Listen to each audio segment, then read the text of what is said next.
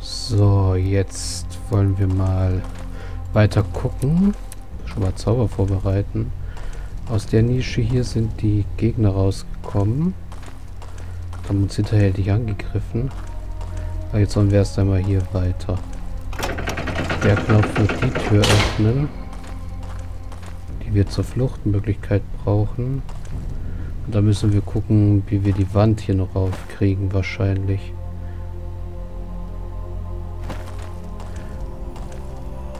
Weil hier müsste ja, glaube ich, ein Gesicht gewesen sein. Hä? Ach so. Genau, hier ist ein Gesicht. Das schießt dann wohl in die Richtung und trifft einen Empfänger da hinten. Aber jetzt gucken wir erst einmal, dass wir mit dem runden Schlüssel ist das Schlüsselloch? Das hier öffnen. Und auch noch ein Erdbeben kriegen.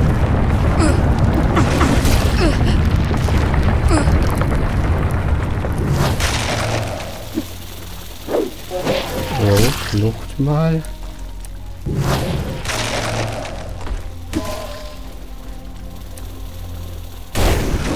Dino ist nicht so schlimm. Sagen wir vor ihm flüchten können.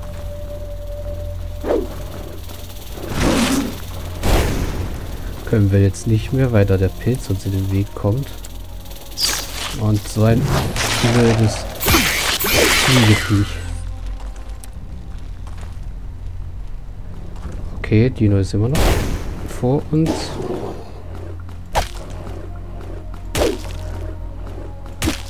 Dann versuchen wir jetzt so lange auf ihn einzuhacken, bis er stirbt. Sie kann einen Energietrank trinken, davon haben wir ja genug. So. Jetzt müssten da nur noch ein Pilz und eine Schnecke sein. So, Pilz ist weg. Und da ist die Schnecke. Wenigstens haben wir es geschafft, die einzufrieren. So. Wer hat Hunger? Wer hat Hunger? So. Fackel ist ausgegangen. Ersatzfackel in die Hand.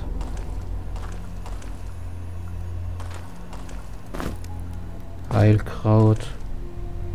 So, und jetzt müssen wir mal gucken.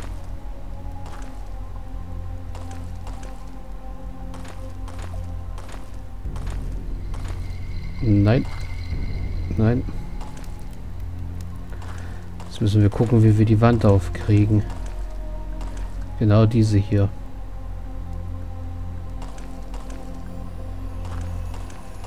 Vielleicht von der wirklich von der anderen Seite. Hier sind solche hübschen Zeichnungen, wie ein Mönch ein, ein riesengroßes Monster auffällt. Solche Zeichnungen hatten wir übrigens oben schon im Etage 9, als wir den Tempel betreten haben. Die habe ich euch noch gar nicht gezeigt. Aber ich sehe keinen Knopf. Das gibt's doch nicht. Hallo, Knopf. Wo steckst du?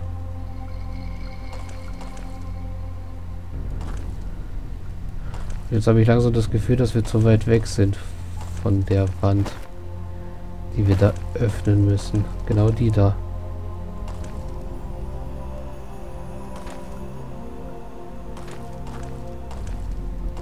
Weil du wirst das sicherlich nicht öffnen. Nein. Hier hat sich kein Knopf versteckt. Kein Knopf, kein Knopf. Da ist das Schlüsselloch. Kein Knopf. Kein Knopf. Nein. Auch keiner. Auch keiner. Da ist der Empfänger. Nein. Da ist ein Knopf. Der war ja gemein versteckt. Aber gut. So, und jetzt müssen wir das mit dem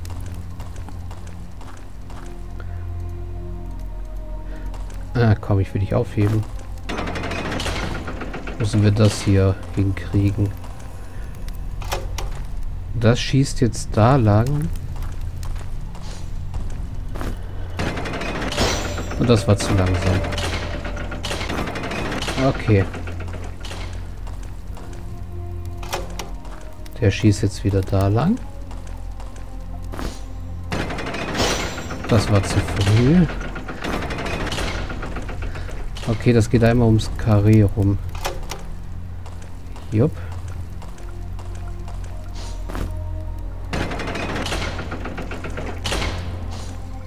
Jetzt schießt der da lang.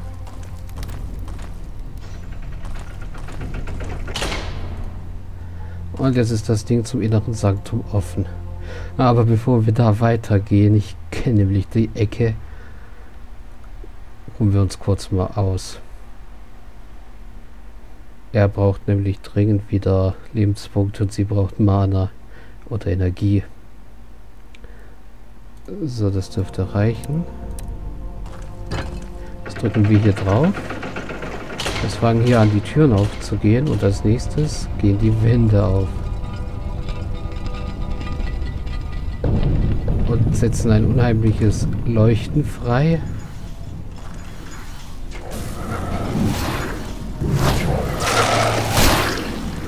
Das die obersten Wächter dieses Dungeons freigibt. Ja. Hier ein. Danke. Level up. Genau, euch kann man doch auch einfrieren, während ihr euer Schild anhabt. Die haben nämlich ein Schutzschild, was nur eine bestimmte Menge an Schlägen oder Schaden aushält. Ich weiß es nicht genau, wie es nochmal war. Aber sobald äh, das Schutzschild, Schutzschild weg ist, und ich höre jede Menge Krabbelfiecher, sobald das Schutzschild weg ist, sind sie keine wirklich ernstzunehmende Gefahr mehr. Beziehungsweise da kann man sie leicht töten. Hier höre ich einen Haufen Schnecken oder so rumschleimen. Das hier ist übrigens eine Falle, die uns vergiftet. Aber bevor wir jetzt weitergehen, kurz Level up machen. Er kriegt Maces. Sie kriegt...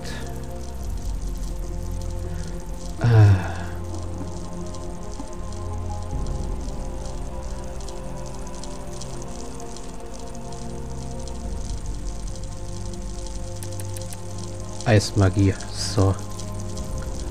Gut. Jetzt gucken wir erst einmal hier rein. Hier sind irgendwelche Bolzen auf dem Boden. Und ansonsten ist hier wirklich nichts. Moment. Ah, tatsächlich.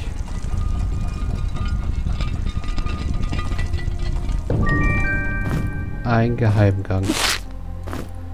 Ein blanker Schlüssel und zwei Frostbomben und ein, eine schwefelhaltige Potion. Was steht hier? Der Drache resid äh, wacht außerhalb des inneren Sanktum-Eingangs. Der innere Sanktum-Eingang ist hier. Und außerhalb wacht der Drache. Ist damit gemeint, dass das hier wie ein Drache aussehen soll? Hm, kann gut möglich sein. So, jetzt haben wir aber den Schlüssel. Wofür auch der immer gut sein soll. Und hier haben wir noch einen Raum mit Essen. Nichts. Wurfäxten. Und ich glaube, hier brauchen wir den Schlüssel. Und auf den Knopf drücke ich noch nicht. Denn der Knopf macht hier den Teleporter an und beschwört noch mehr von denen. Ja, ja.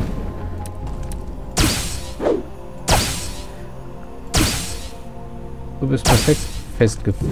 Willst du nochmal fest? Ja, oder im Hals konnten wir nicht mehr ausweichen.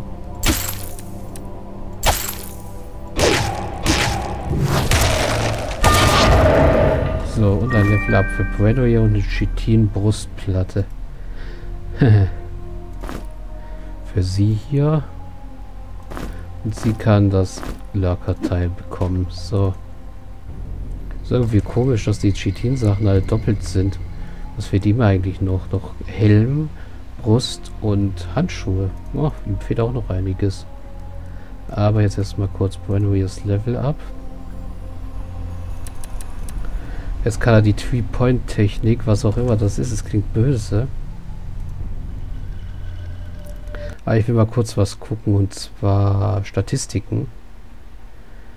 Hey, uns fehlen nur noch 25 Secrets. Wir haben also ziemlich, so ziemlich, an, ziemlich viel gefunden.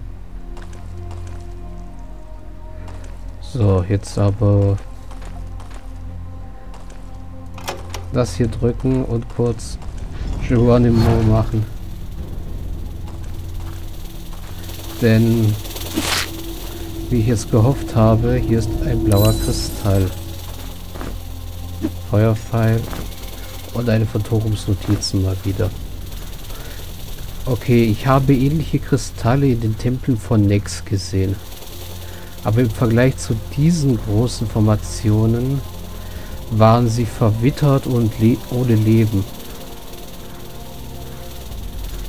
Diese Kristalle haben vielleicht nicht die nötige Kraft in ihnen, um einen gefallenen Freund zurück zum Leben zurückzubringen.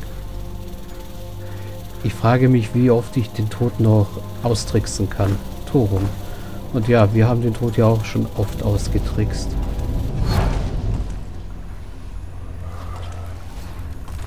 Aua. Jetzt kriegen wir volle Breitseite von diesem Mönchen.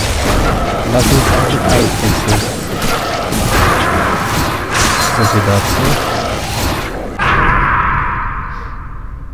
Zum Glück hatten wir jetzt gerade ein Autosave.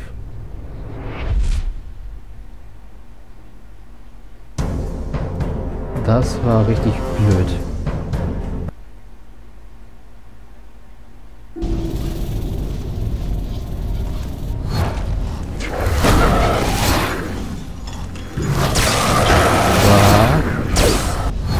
Wieder weg. Das war nicht so gut gelaufen. Und das läuft jetzt noch schlechter. Und wieder sterben wir.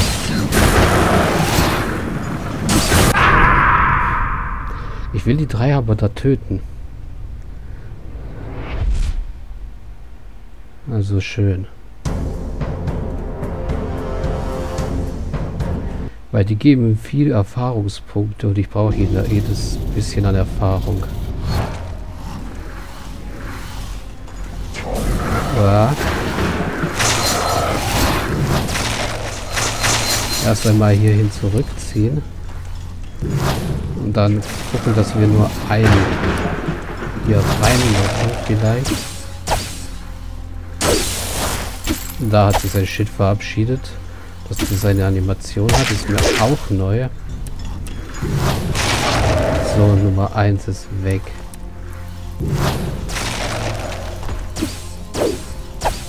Da haben wir Nummer 2. Auch schon ohne Schild.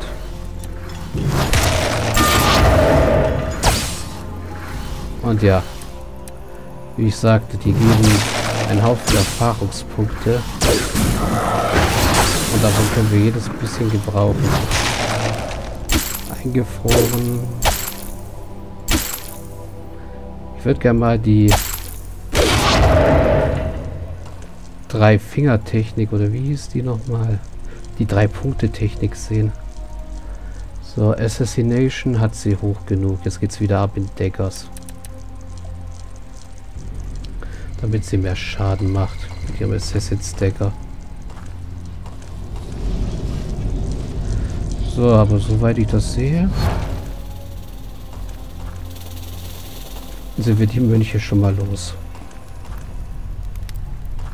Hier geht es schon weiter runter, aber... Oh, erst einmal liegt hier eine neue Notiz von Lord Peril. Also ja, was ich kurz zeigen wollte. Hier geht es eigentlich runter. Aber hier, um weiterzukommen ins Gefängnis, was mittlerweile ziemlich Steampunk-mäßig aussieht, oder so ist halt schon eher ein bisschen moderner, brauchen wir einen Schlüssel. Und ja, zu dieser Ebene gibt es auch eine Schriftrolle. Hier steht, dieses, äh, diese Ebene ist versiegelt. Okay, sonst, das, der Satz da unten ist neu. Sonst stand hier nur wirklich, diese Ebene ist versiegelt. Die Wächter sollen den Weg verschlossen, äh, den Weg bewachen, solange die Zahnräder, bis die Zahnräder sich nicht mehr bewegen. Ah ja, okay. Und hier haben wir noch eine Peril-Notiz. Die lese ich aber erst beim nächsten Mal. Ich speichere hier erstmal wieder. Bis gleich.